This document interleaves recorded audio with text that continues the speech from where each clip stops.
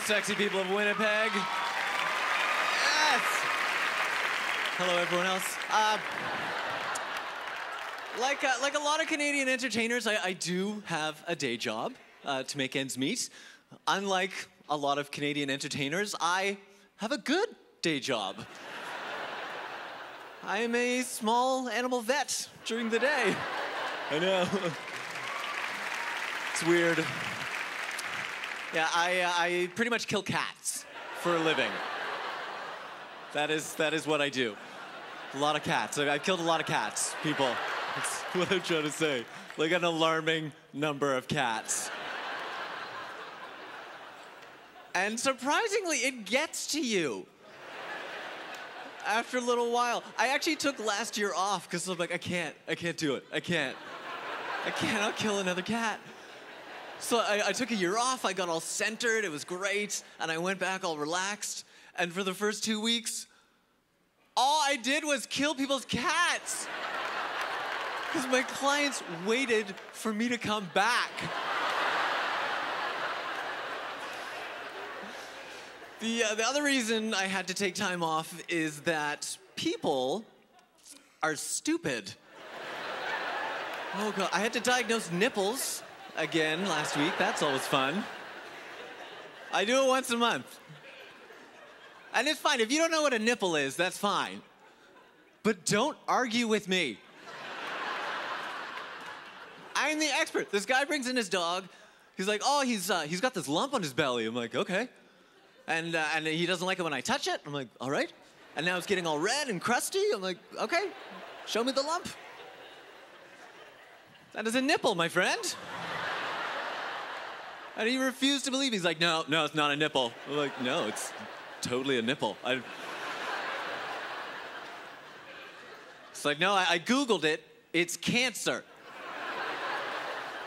Well, I'm very sorry to disappoint you, but your dog is going to be fine.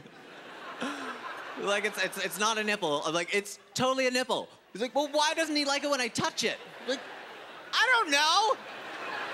Stop touching your dog's nipples. What's wrong with you?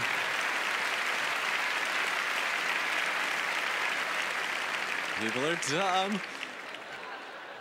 We've also had this fun thing that's been happening recently where people are getting us confused with a human hospital. Usually a language barrier. Uh, some old Ukrainian man came in. He's like, "Oh, my back." I'm like, yeah. Like, "It hurts." I'm like, it looks like it does. Like, "Help!" I'm like, "No." Sorry, old man, I can't help you. I can put you down. It's pretty much it.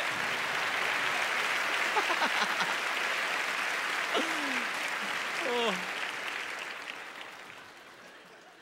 And now I've been getting asked uh, medical questions, like human medical questions. Like, I, I don't know anything about people. That was the one species we didn't cover. Like, we did everything else. And I, I, was putting this, another old man, putting this old man's cat back into the carrier. I turn around, and he has dropped his pants. like, okay, uh, is this my tip? Because I'm not interested. He wanted to show me a lesion on his inner thigh. yeah, ew. He's like, what do you think of this? Huh? What do you think of this, doc? Like, what do I think? I think it's highly inappropriate. Put your pants back on. Stop licking it, it'll be fine.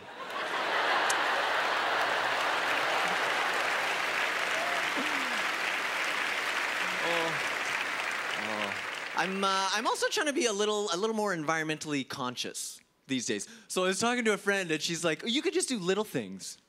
I'm like, "Okay, I like doing little things.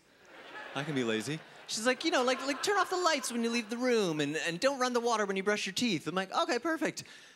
And if you really want to be all environmentally conscious, you should switch to one-ply toilet paper. I'm like, "Oh, really?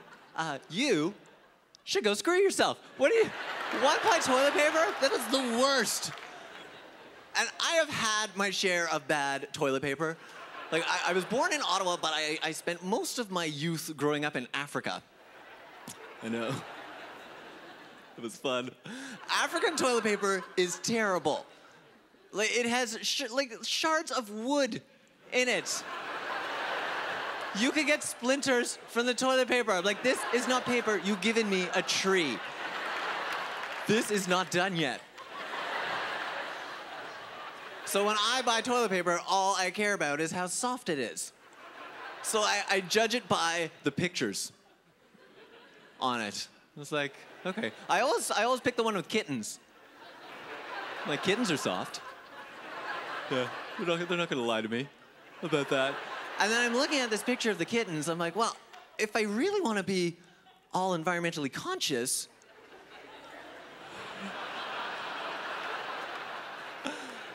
it's a good idea. Stick with me. Why don't we just cut out the middleman and why don't we just use kittens, guys? Oh, it's such a good idea. Just a little litter of kittens, you know, in a basket next to the toilet. You grab one, you clean yourself off, you put it back. It cleans itself off. Thank you so much, Winnipeg. You guys have been a ton of fun. Have a good night.